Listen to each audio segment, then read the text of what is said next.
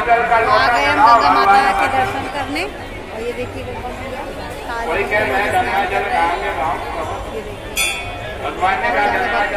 आप लोग भी दर्शन करिए। अभी हम लोग नहाने के लिए जा रहे हैं और